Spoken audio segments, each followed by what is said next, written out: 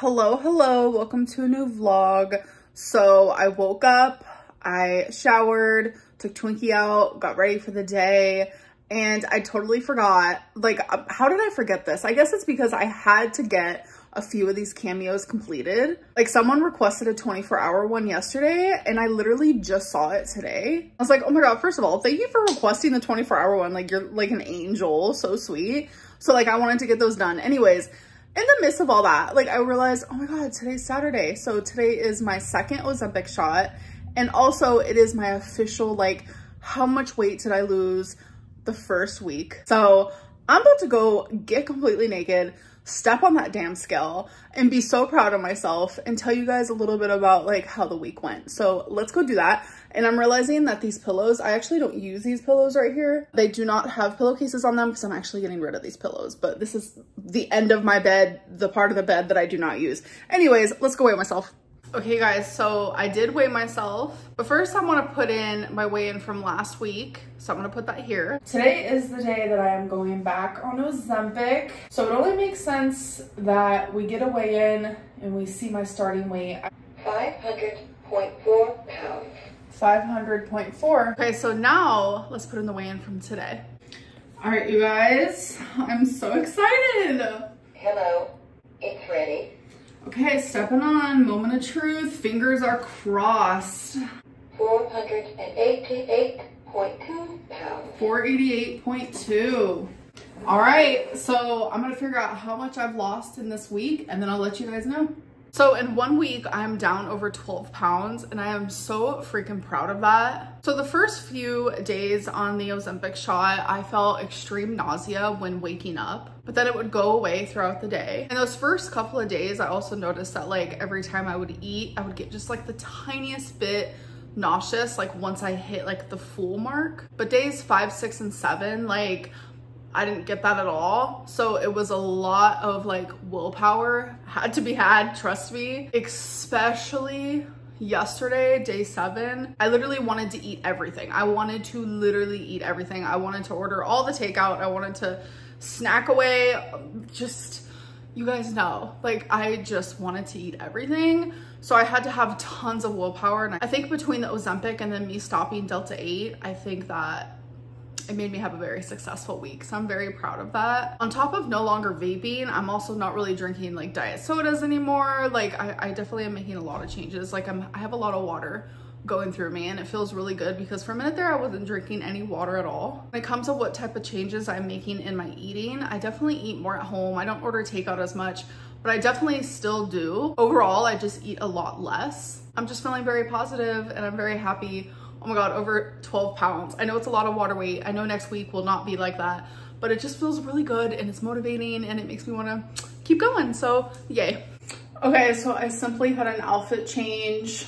It is still the same day and I will still be vlogging today. I just, I don't know, for continuity reasons, I feel like I have to tell you that. I'm feeling so sad. I cannot find my sunglasses anywhere. I'm like, where the hell did I put them? I feel naked without them. Oh my God. So I'm currently with my mom. we are going to Panera Bread and I found my glasses so we're good but I'm not wearing them right now because the glare when I vlog is just like what's the point? Yes the bingo bag is back there it stays back there 24 7 but I think we're going tonight anyways so that's gonna be a fun moment. And I think movies. Yeah we're going to the movies. There's this movie out called If with Ryan Reynolds. If you guys know Blake Lively is my um, wife one of my wives. I have several and that's her husband. But I just wanted something unserious. My mom's like, you want to go to the movies? And I was like, oh my God, there's actually a movie out that I want to see. And I was like, that's perfect. And my mom thinks it looks cutesy, like the concept of it. So yeah, yeah so we have a full uh, day of mother-daughter shenanigans. Right, mom? Yep, shenanigans. yeah. Oh, and I did my injection. My mom helped me with that. She did yep. it for me. Yeah, piece cake yeah it's easy for her. I didn't i don't feel it. It's so weird because like when i did it before and i used a pen like i would feel it but with this it like feels like nothing. Like i don't get it. You're gonna tell them how much weight you've lost? Yeah i told them already. Oh. Yeah. My mom's proud that i've lost over 12 pounds already. That's so exciting i know. Did you tell them how much i lost? 19 right? 19 my mom's yep. down 19 and i have heard some people asking if she's also on ozempic. No. No. She's doing it all on her Count own. calories. Yeah, she's counting them cows. Um, she's the queen of moderation. She allows herself to eat whatever, she, whatever she wants, but she like fits it in her cows. So pretty much what I'm trying to do, but I'm not counting But I stay away from low sweets. Like I don't do sweets as calories or anything. Yeah, so she'll stay away from sweets, but Which is my downfall. I'm same. I love me a sweet moment Mm. type deal, type of situation. yeah. Anyways, but yeah, uh, see you at Panera Bread. Look at that. I thought you could do that. You Amber. guys, are these swimming shoes? Wait, are these swimming shoes? I bought them in the swim section to get wet. Mom, if you bought them in the swim section, I think they're for swimming, right? They're the most comfortable shoes I've ever worn life. Like, they weigh like nothing. They look comfy. You can't tell, but they're purple. On camera, they look gray. They match your hair. You know I'm not supposed to wear them. I think those are swim shoes. this is the movie we're gonna be watching. glass of water. Yeah, it's gonna be cute. Oh my god. Wait, what do you do? Oh, you Push a button. this? I've never done this before.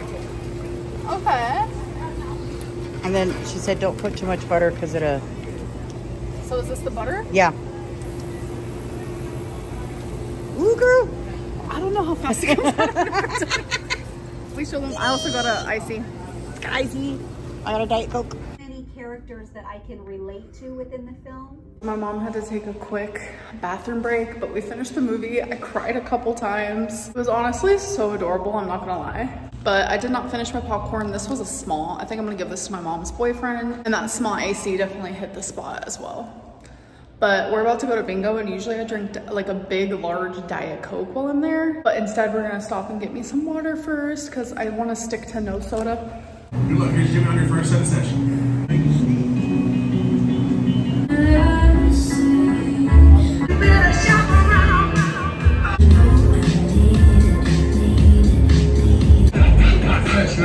Okay, you guys, if I look tired, it's literally because I am.